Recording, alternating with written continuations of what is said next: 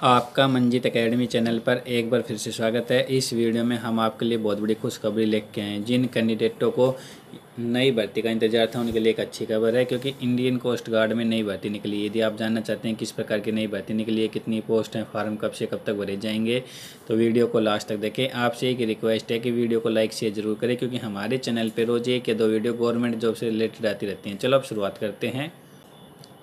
तटरक्षक बल गांधीनगर में वैकेंसी निकली है। फार्म भरने की लास्ट डेट है 18 सितंबर 2023 लश्कर मल्टीटास्क स्टाफ ड्राइवर अन्य पदों पर भर्ती है।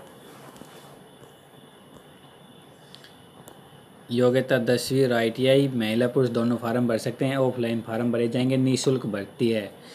ये देख लो, पद का नाम, पद, एज, वेतन, योग्यता।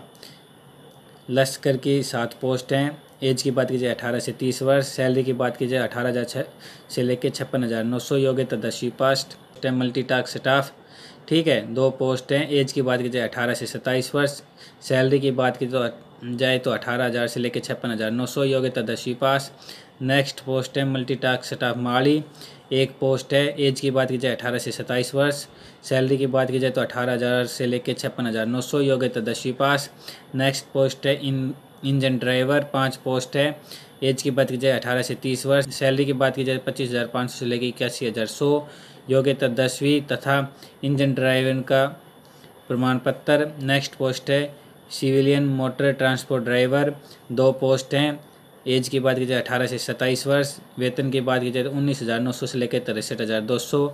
योग्यता दसवीं पास, तथा दो वर्ष का अनुभव सहित हल्का में भारी वाहन लाइसेंस। ठीक है?